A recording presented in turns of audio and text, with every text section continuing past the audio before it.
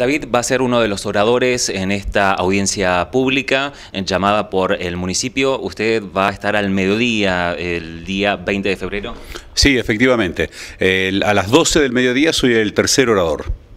Bien, eh, ¿está de acuerdo con las pautas que se han planteado para esta audiencia pública? Sí, eh, no solo que estoy de acuerdo con las pautas, sino creo que esto es muy importante eh, para poder escuchar las opiniones de los vecinos, porque caso contrario, lo que prevalece siempre son las personas o los grupos que tienen mayor llegada a los medios. Entonces hay una cantidad de personas que no pueden expresarse en la potencia suficiente como para poder ser escuchadas. Por eso considero que es muy interesante interesante, eh, muy enriquecedor el hecho de este tipo de audiencias públicas. No va a haber debates, o sea, tampoco mm, se puede llegar a haber repreguntas eh, en la misma audiencia. ¿Esto es conveniente? ¿Solamente se van a anotar todos los puntos que se toquen? Mira, considero que eso es positivo, porque si vamos a hacer un debate tiene que ser en otro ámbito y en otro tiempo. ¿Por qué? Porque si vamos a un debate, eh, seguramente que vamos a ir a una discusión cerrada. Es muy difícil poder eh, mediar en un debate cuando interviene tanta gente, tantos grupos de interés y en un tema tan polémico.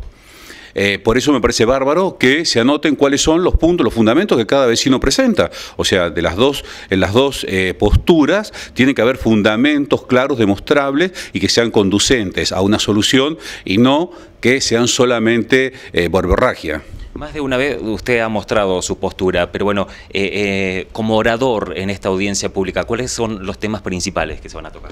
Mira, yo tengo lo que, lo que he dicho siempre, es imprescindible que se haga esa avenida mal llamada ruta de circunvalación, porque eso no circunvala nada.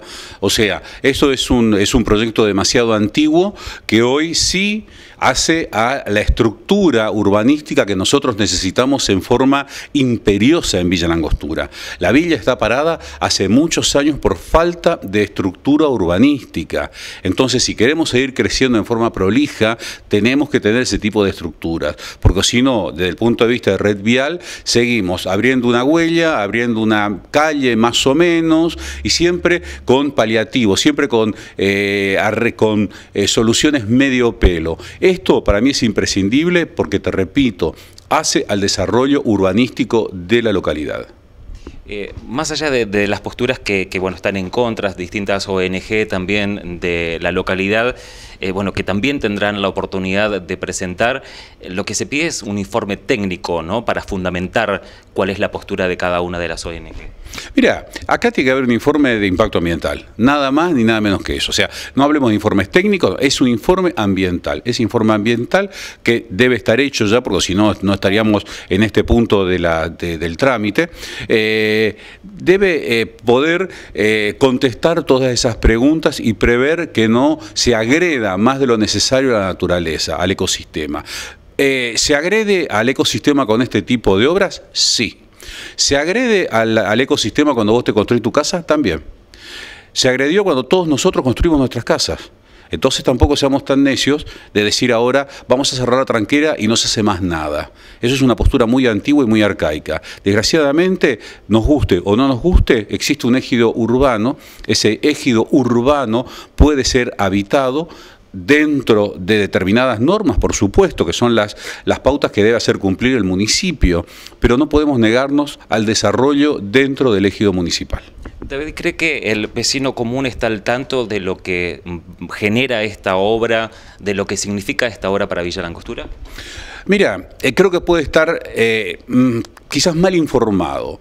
Yo he escuchado muchísimas, eh, muchísima, he leído mucho, mucha información, he escuchado mucha información, pero creo que no se ha desarrollado una información objetiva y puntual. Entonces, esta este es uno de los pilares para lograr mantener informada a la comunidad, que la información sea fehaciente. Porque si yo escucho la opinión de una determinada cantidad de personas que están a favor porque se les ocurre o en contra porque se les ocurre, entonces vos te imaginas que la gente está mal informada. Yo creo que faltó información objetiva. ¿Faltó información por parte de Vialidad y en este caso se puede acceder a esa información? Sí, sí, para mí faltó eh, más información de parte de Vialidad Nacional. Yo creo que tendría que haber sido más objetiva la información y de esa forma poder aclarar algunas dudas. Hay gente que está mal informada.